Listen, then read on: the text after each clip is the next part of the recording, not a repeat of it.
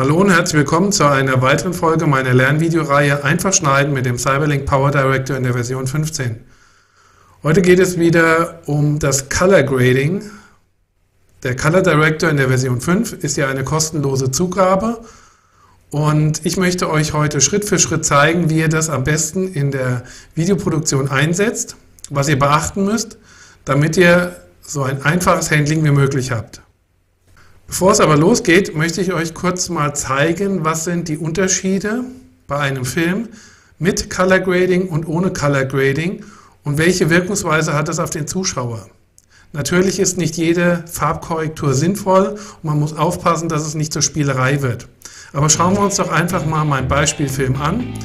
Links sehen wir das ohne Color Grading, sprich mit ein paar Videokorrekturen, aber keine Farbkorrekturen. Und rechts habe ich eine Farbkorrektur rübergelegt, die ich selbst entwickelt habe. Wie das geht, ist aber gar nicht so schwierig und ich erkläre es Schritt für Schritt. Wenn ihr euren Videoschnitt begonnen habt, habt ihr in der Regel bei einem 10-Minuten-Film 20, 40, 80, 100 einzelne Filmschnipsel. Und zum Glück bietet der Cyberlink Power Director eine Möglichkeit an, den Color Director, ähm, geschickt einzubinden und das möchte ich euch heute mal zeigen.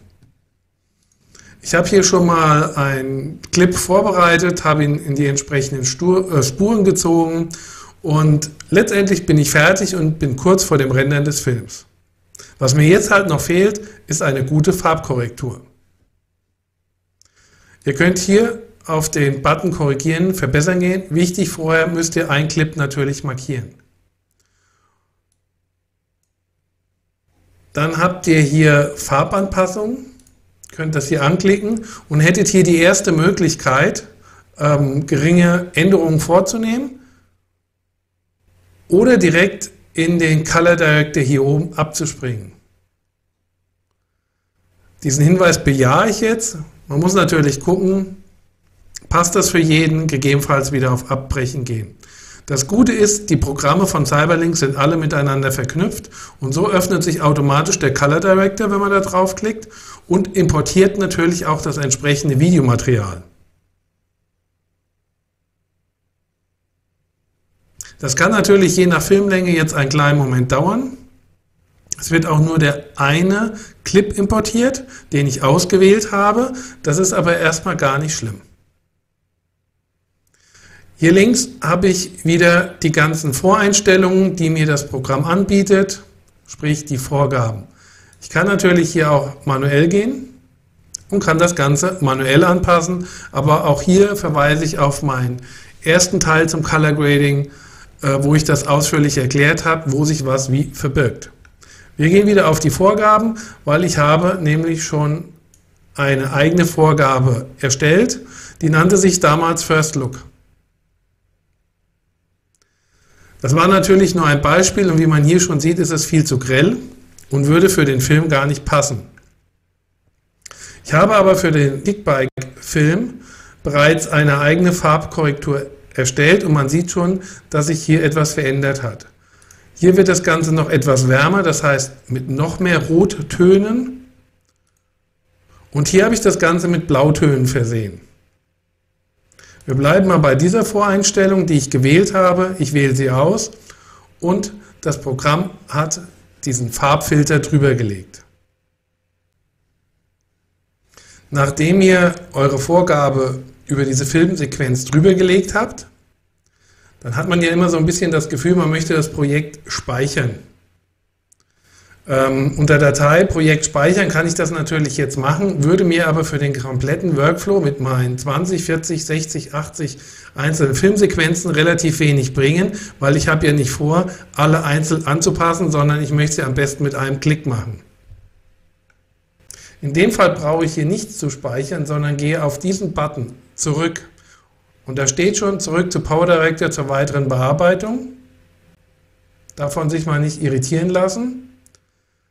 Jetzt bin ich wieder in meinem Schnittprogramm und jetzt habe ich ja immer Infos, Info-Is hier stehen.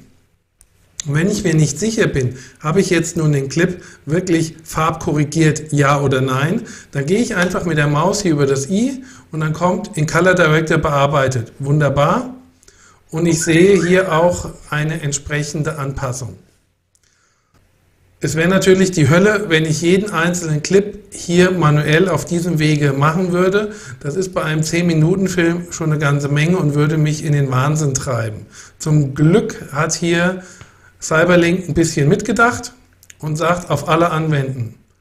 Und das geht auch verhältnismäßig schnell. Also der komplette Clip sind ungefähr äh, 8, 9 Minuten, 8 Minuten knapp.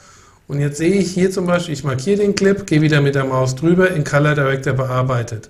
Und somit sind jetzt alle Clips letztendlich etwas angepasst.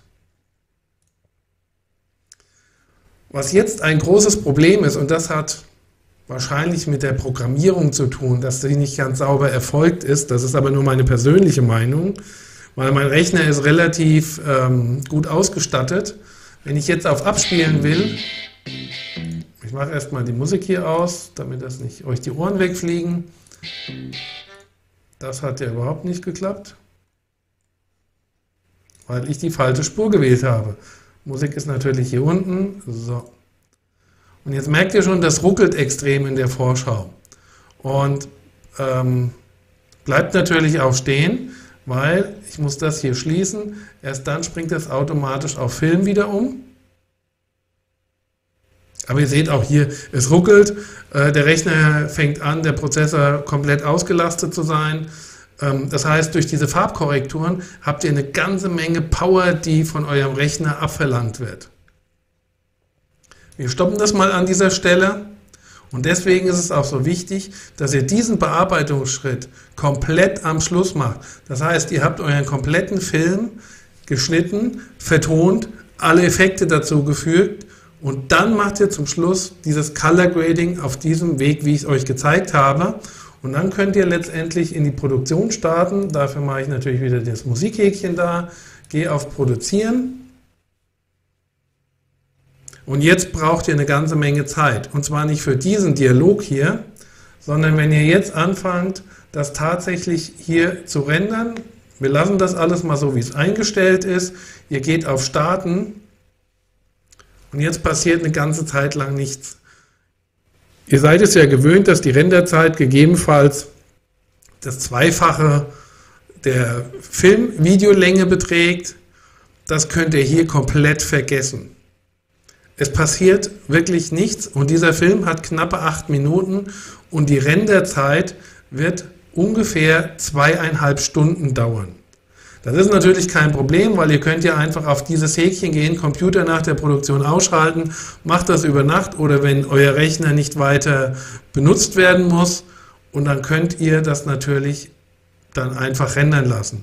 Nur seid nicht überrascht, der Rechner hängt sich auch nicht auf, er braucht einfach so lange um diese Farbkorrekturen halt wirklich umsetzen zu können beim Rendern. Das war es soweit. Vielen Dank für das freundliche Zuschauen. Ich hoffe, ich konnte euch etwas helfen und euch das Color Grading Schritt für Schritt näher bringen. Ich sage Tschüss, bis zum nächsten Mal.